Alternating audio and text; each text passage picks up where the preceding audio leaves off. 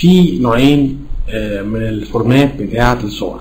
حاجة اسمها vector وحاجة اسمها bitmap ال bitmap عبارة عن خريطة صور.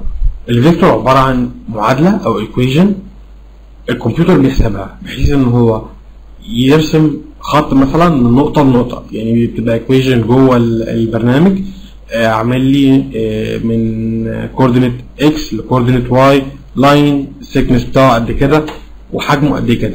لكن ال bitmap آه، عبارة عن pixels في خريطة أو bitmap زي ما هي ما, ما اسمها ما موجود. تعالوا نشوف إيه الفرق ما بين ال- ال vector وال bitmap. لو أنا هكبر ال bitmap تمام؟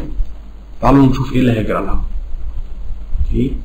كمان كمان كمان okay. زي ما أنتم شايفين الخطوط ابتدت تبان أو تبكسل. يعني هي دي ال map اللي أنا بقول لكم عليه.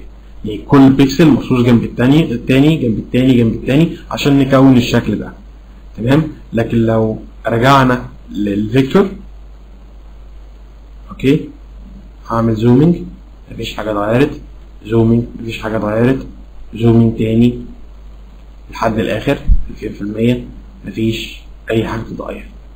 آه، لو اشتغلت قبل كده على Paintbrush مثلا أو آه، آه، Photoshop أو آه، أي format بتعمل صور غالبا هي بتسيف bitmap لكن آه، في برامج تانية اللي هي Illustrator و FreeHand بتاع Macromedia دول بيسيف و Corel طبعا CorelDRAW بيسيفوا vector آه، فلاش والبرامج التانية بيعرفوا يتعاملوا كويس قوي مع مع النوعين دول من ال formats. لكن فلاش بي- بيبقى أحسن إن أنت تشتغل فيه vector أو كل الحاجات اللي هو بيشتغل فيها vector.